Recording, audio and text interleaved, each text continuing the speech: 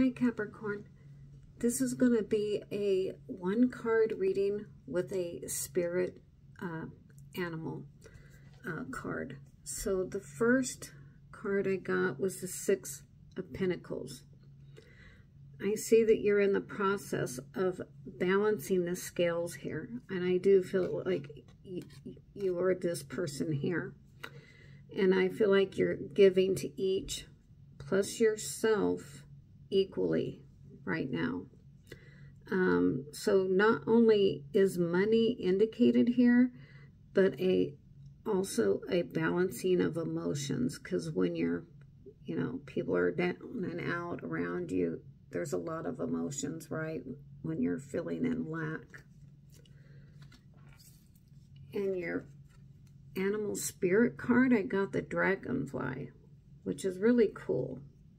Um, agility is key here.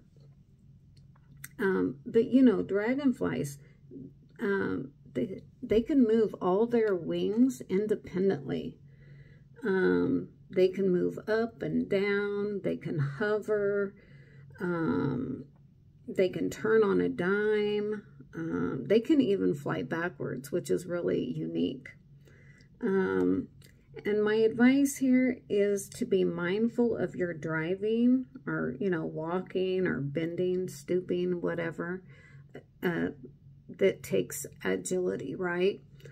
Um, but you may notice the rest of this month that you excel in these abilities right now.